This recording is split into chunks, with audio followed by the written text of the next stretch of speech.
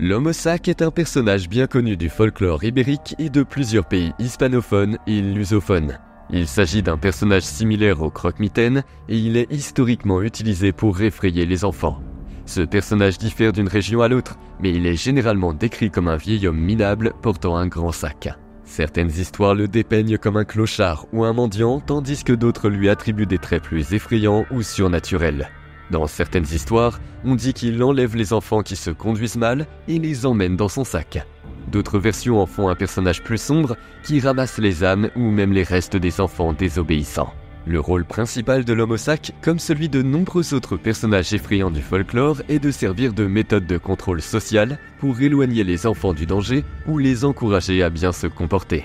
Il est souvent amené par les parents à effrayer les enfants pour qu'ils restent dehors tard le soir ou qu'ils obéissent aux règles. Il est un exemple classique de la manière dont le folklore est utilisé pour transmettre des normes sociales et morales.